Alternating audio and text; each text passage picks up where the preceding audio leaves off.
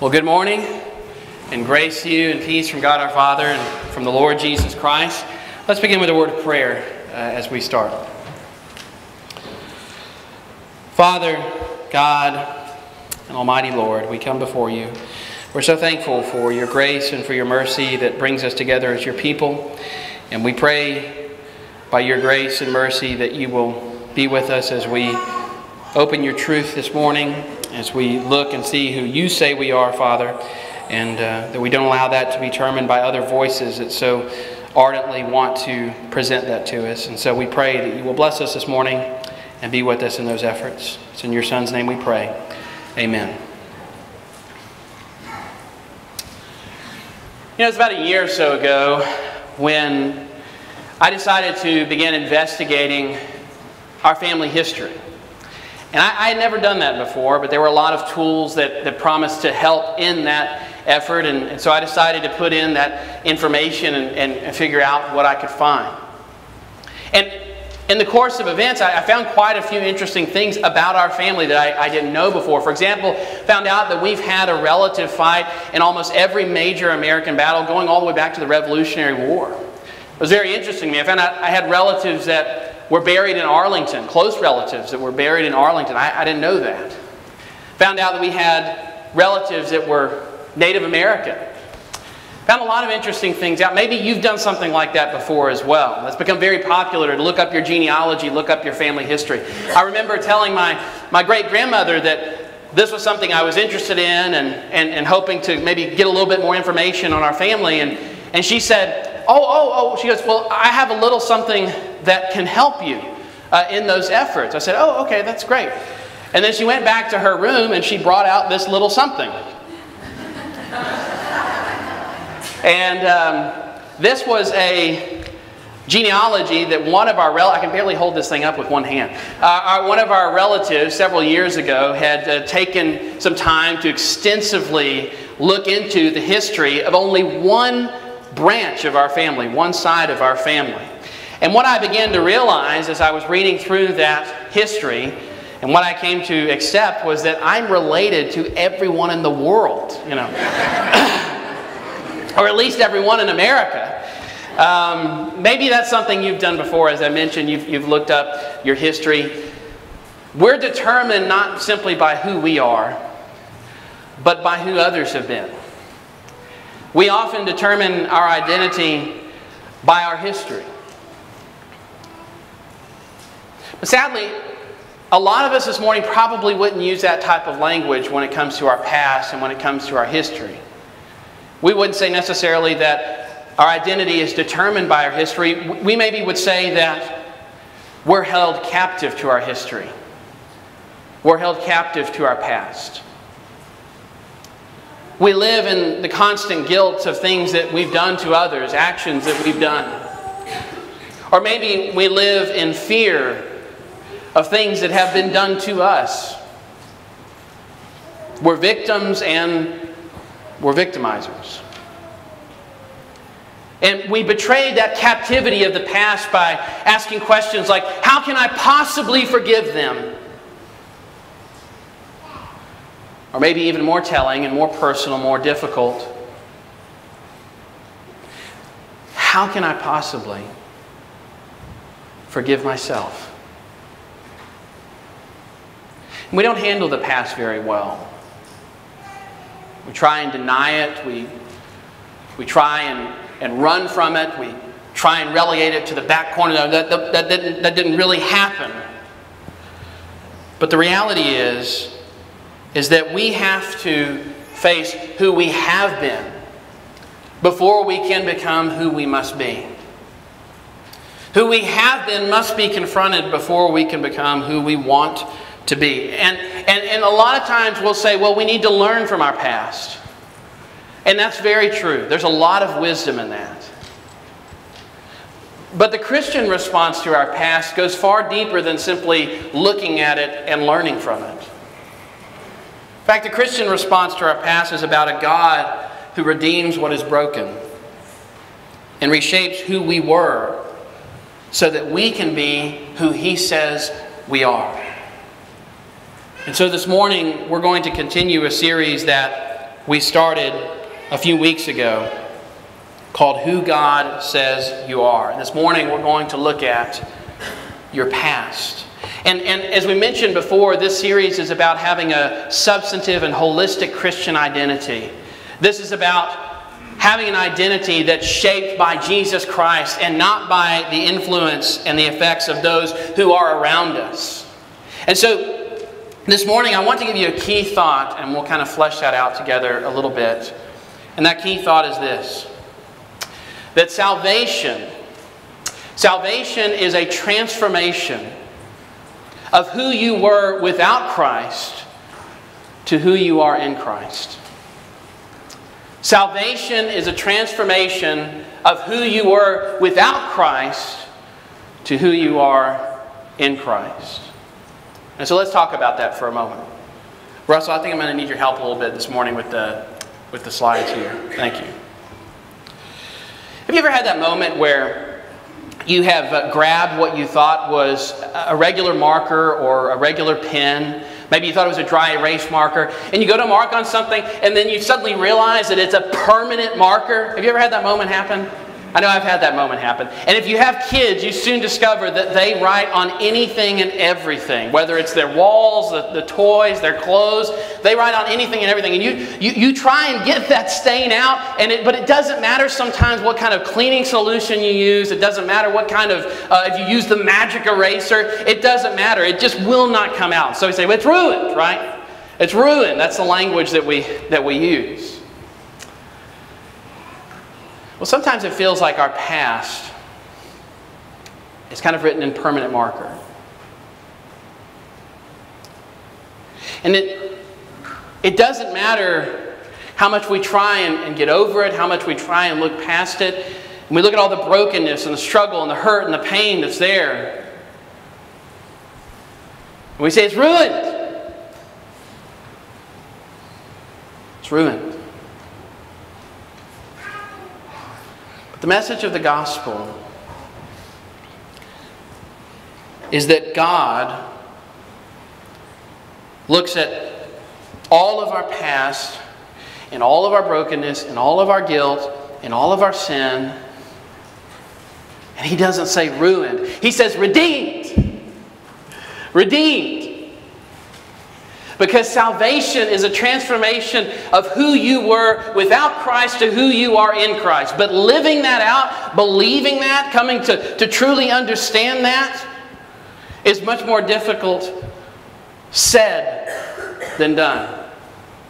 It, it, it's easier said than done, if, if that's even possible, because even saying it, living that out, and understanding that through Christ our past is redeemed and not ruin. That's difficult. But, but, but here's the encouraging part Jesus gave us a tangible example, a tangible person to show the transforming power of God's saving grace over our past. And his name is Paul. Paul had a difficult past. Paul was a Christian wrangler. And the language that Luke uses in Acts chapter 9 and verse 1 to describe the type of life that Paul was living was that he was breathing out threats and murderings against Jesus and his disciples, against those who followed Christ. That is, he's inhaling hate, he's breathing out murders, is the kind of language that, that Luke uses there. Paul hated Christians. He, he hated those who followed Jesus. He hated everything about Jesus. But that wasn't the end of the story, as you well know. After Jesus encountered Paul and commissioned him to go to the Gentile nations, he wrote a letter to a young man named Timothy. And in that, he talked about his past in 1 Timothy chapter 1, verses 12 through 16. And he said this He said, I thank him who has given me strength, Christ Jesus our Lord. Because he judged me faithful, appointing me to his service, though formerly I was a blasphemer, a persecutor, an insolent opponent. But I received mercy because I had acted ignorantly in unbelief, and the grace of our Lord overflowed for me with faith and love that are in Christ Jesus. And this saying is trustworthy and deserving of full acceptance that Christ Jesus came into the Lord into the world to save sinners of whom I am the foremost. But I receive mercy for this reason that in me as the foremost Christ Jesus might display his perfect patience as an example to those who would believe on him to eternal life.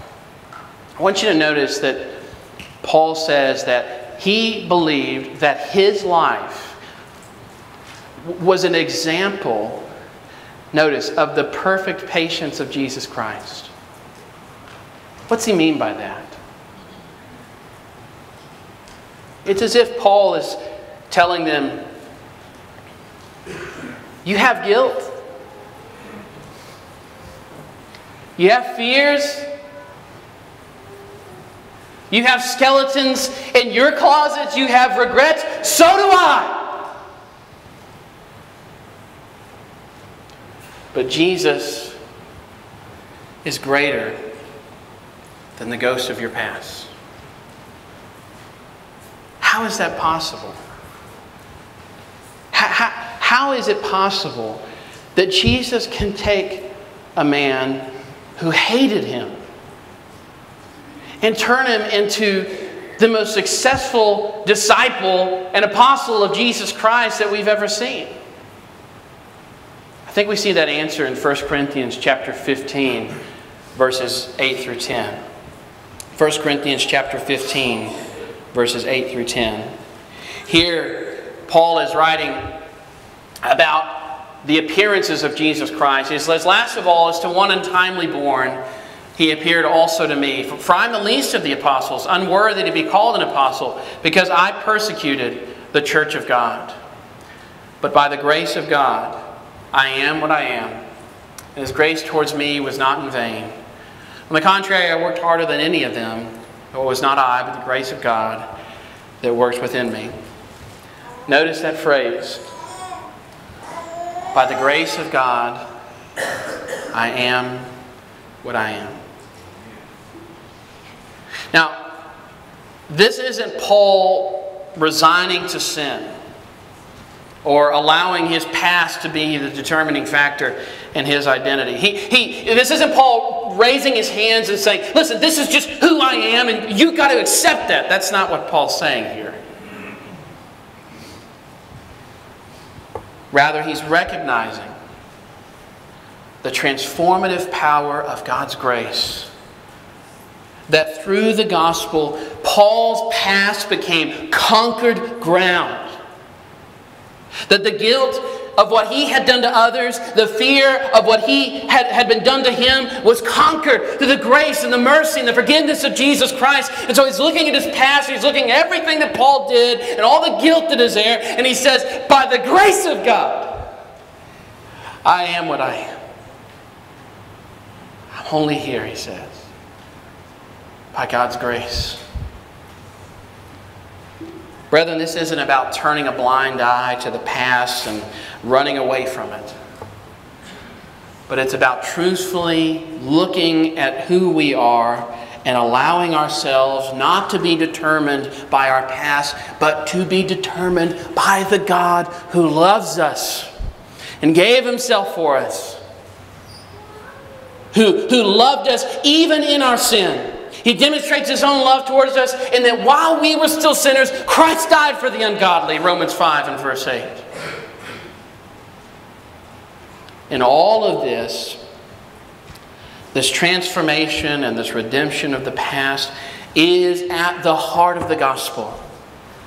This is what the gospel is about. Notice what Paul would say in Colossians when he's writing to the church there in Colossians 2 and verse 20. Look at the language he uses. If with Christ you died to the elemental spirits of the world, why, as if you were still alive in the world, do you submit to regulations? You've died to the world. He continues in chapter 3, verses 1 through 4. If then you have been raised with Christ, seek the things that are above, where Christ is seated, see, where Christ is seated at the right hand of God. Set your mind on things that are above, not on things that are on the earth. Why? For you have died. And your life is hidden with Christ in God. When Christ, now notice this, when Christ, who is your life, appears, then you also will appear with him in glory. Paul's talking to the Colossians. He says, Who you are is no longer determined by who you used to be. Your life now is more than that. Your life is now determined by Christ Jesus, and that's including your past. It's very similar language to what he says in Galatians chapter 2 and verse 20. He says, I have been crucified with Christ, nevertheless I live. It's no longer I who live, but Christ who lives in me. In the life I now live in the flesh, I live by faith in the Son of God who loved me and gave himself for me. That's a murderer talking.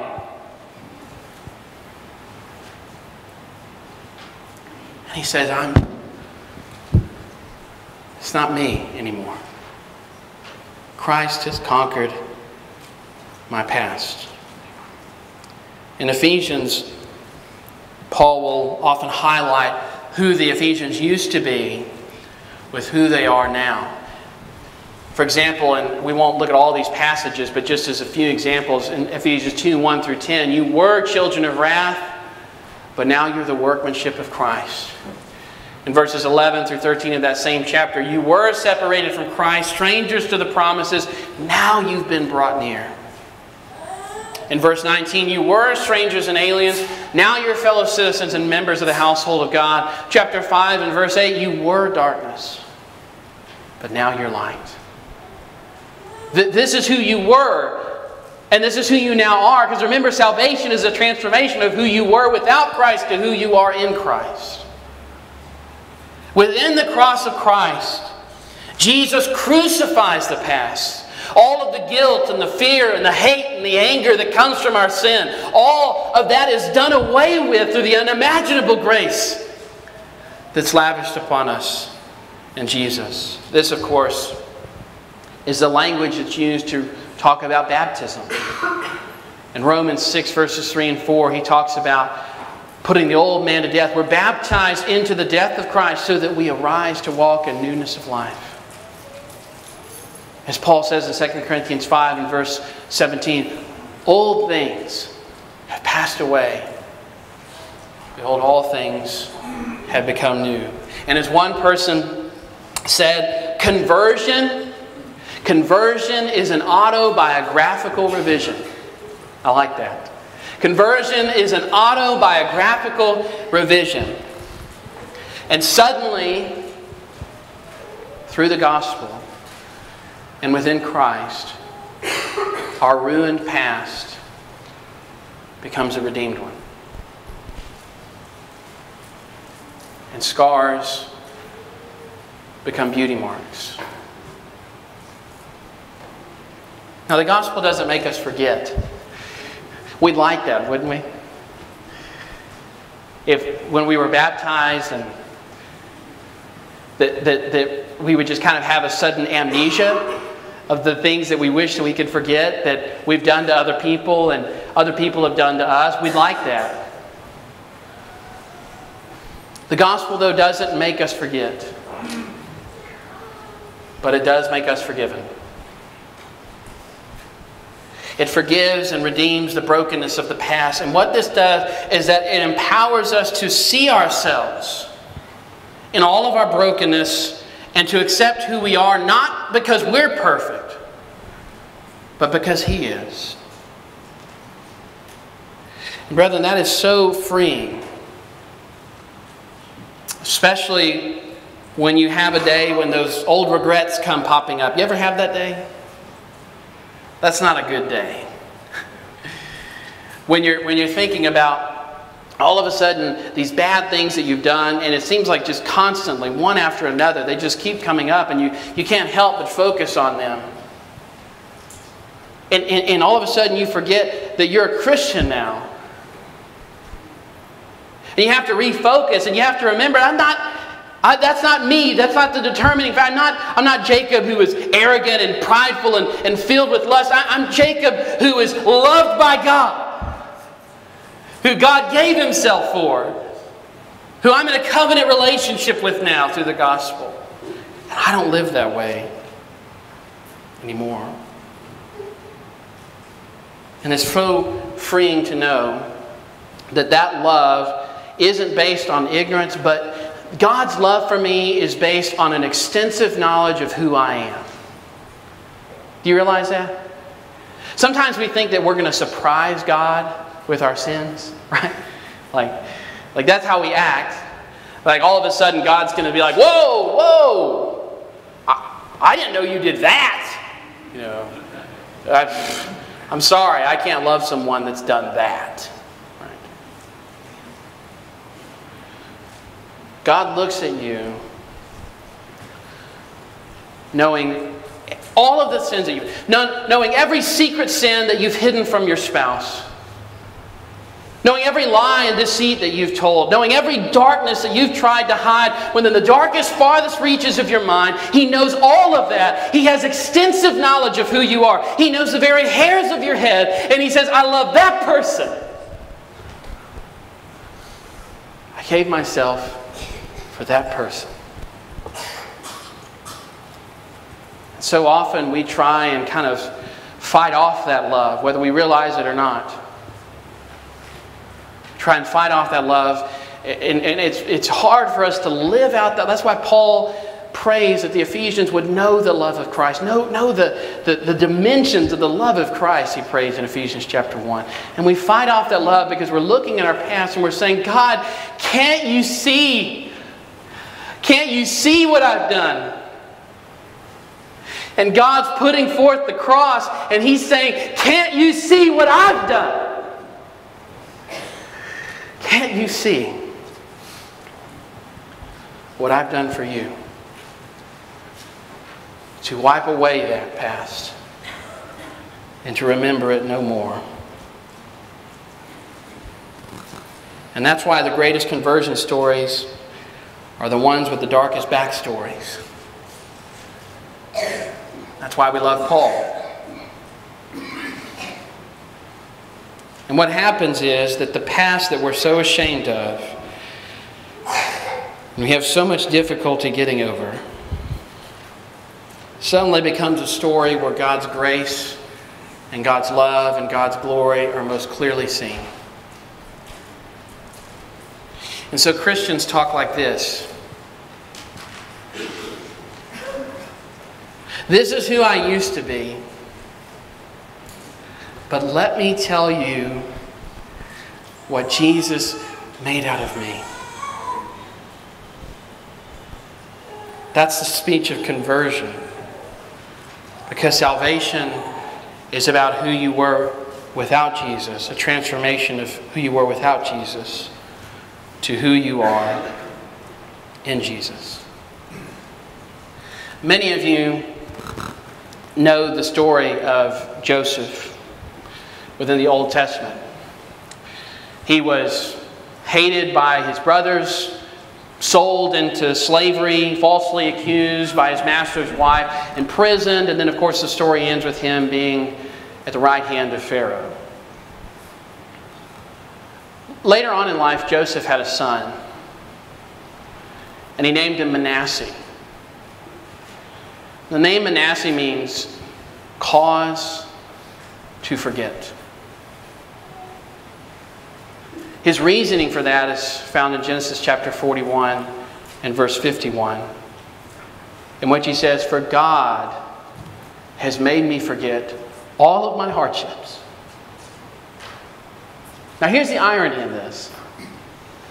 In saying that God has made me forget all of my hardships, he's showing that he actually remembers the hardships. So he's not saying that all of a sudden he just has no memory of them. Joseph isn't denying the hardships, but he recognizes that the God who redeemed them was far greater than the hardships. That it was grace, not guilt or grief, which would be the determining factor in who he would be and who his son would be. He was saying the legacy of Joseph wasn't going to be determined by that. But the sad reality is that there are so many Christians that are living enslaved to their past. That they're so focused on how bad they are that they can't see how good God is. They constantly are focusing on their terrible decisions, their selfishness, or the things that they've committed by others or against them. And along, as long as you live in the fear and in the guilt of the past, you can never fully embrace the abundant life that Christ has for you. And I, I don't mean that harshly, I'm saying that because I love you. And I've struggled with that as well, and, and we all struggle with that. Now, this isn't a license for sin. Like I said, when, when, when Paul's saying, by grace of God, I am what I am, he's not saying, yes, I get to live however I want to live. Now, we, because of God accepting us and loving us even in our sin, we turn away from sin and we want to live a more sanctified and holy life for Him. That's what repentance is about. The reality is, is that God loves you this morning, knowing everything about you.